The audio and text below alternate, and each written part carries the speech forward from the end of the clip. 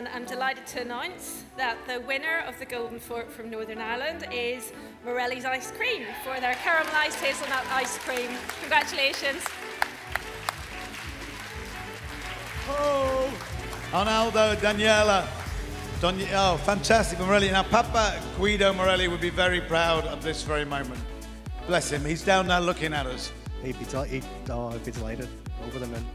1900s, a lot of Italians walked out, got me going now, Daniela, um, walked out of Italy. 15 million of them uh, from Monte Cassino particularly, uh, but to our benefit in the UK because you found great homes all over the place.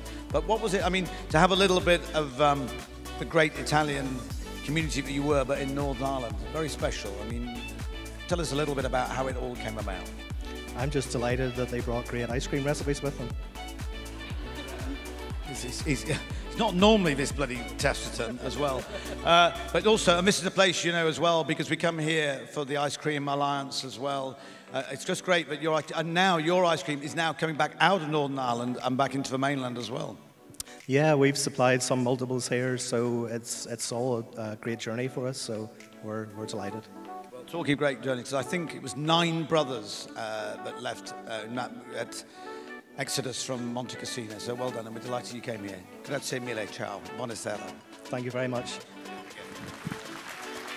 We'll do that, we'll do that.